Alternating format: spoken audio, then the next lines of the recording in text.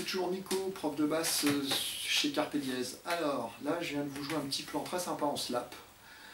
Euh, assez rapide à mettre en place, il faut juste euh, bien travailler lentement dès le départ.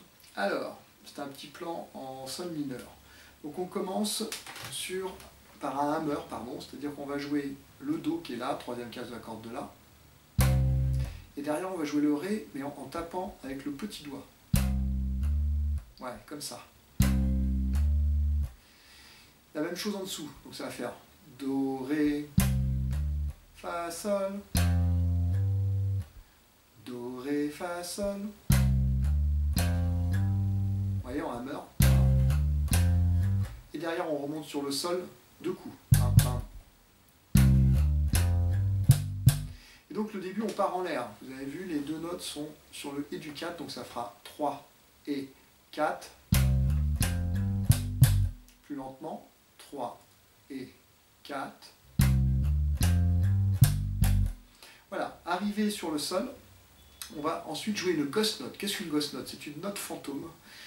Je, me suis beaucoup amélioré en anglais, donc vous voyez, on tape sur la corde, aucun son ne sort. Comment se fait-ce, vous me direz?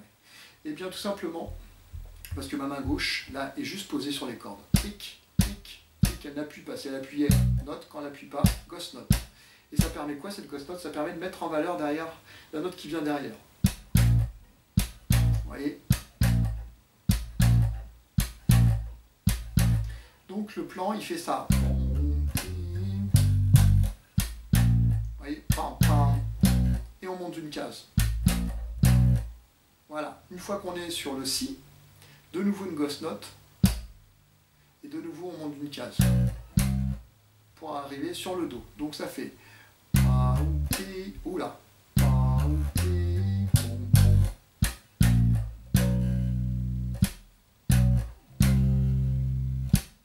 Et de nouveau on s'arrête sur une ghost note et on va faire hammer de nouveau.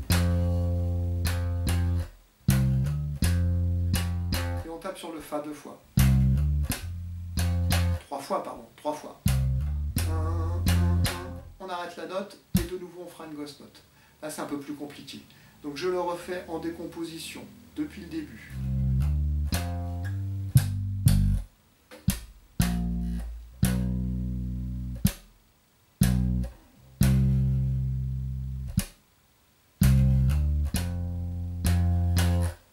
J'arrête la note.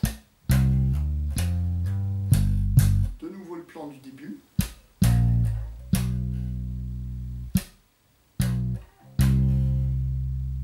Et là, quatrième mesure, on va taper, tirer sur la corde de La et la corde de Sol en jouant les octaves de Do, de Ré, de Ré dièse.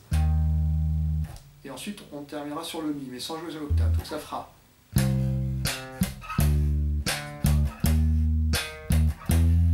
avec ce rythme-là.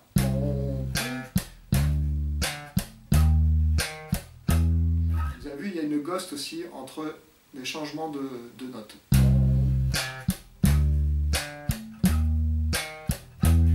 Voilà. À vitesse, entre guillemets, réelle. Voilà. Donc, tout le plan, ça fait ça.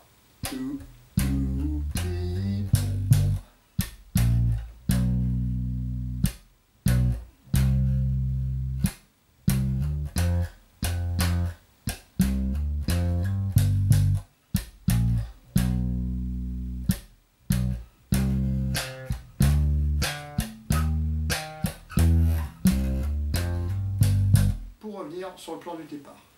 Donc, mon conseil, travaillez avec la partition que je vous mets en lien. Je vous envoie aussi un petit son d'accompagnement, mais qui sera à une vitesse déjà assez élevée. Donc, avant, travaillez-le avec un métronome.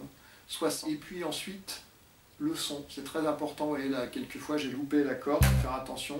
Regardez-vous jouer. Là, moi, je regarde la caméra pour faire euh, le beau, mais en fait, il vaut mieux regarder, se regarder jouer pour être bien précis au niveau des tapés notamment ça c'est très important. Une fois que tout ça est bien synchronisé, eh ben vous allez bien kiffer. Il est temps de se la péter maintenant. Allez, ciao, à bientôt.